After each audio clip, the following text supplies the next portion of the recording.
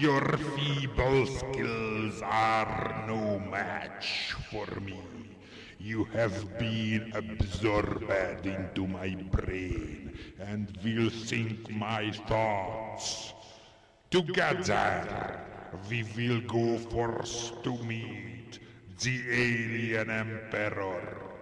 Do not think you can escape me, for your worst nightmares have been resurrected to defend my brain.